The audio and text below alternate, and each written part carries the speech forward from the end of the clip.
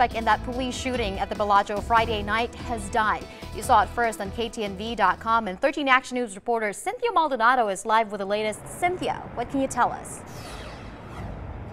Well, Nina, things are back to normal at the Bellagio, but last night this was full of flashing lights and dozens of officers. This is video sent in by one of our viewers. You can see responding officers running in between cars as traffic was to a stop on Flamingo.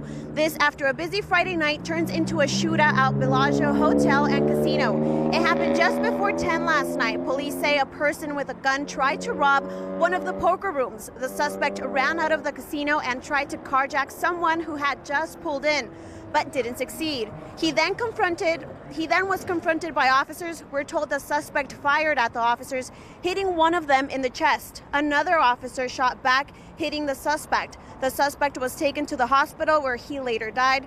The officer who was hit was wearing a bulletproof vest. He was treated and then released from the hospital. We are waiting to learn more information about this incident and we'll bring you the latest as we know it. Reporting from the Strip, Cinthia Maldonado.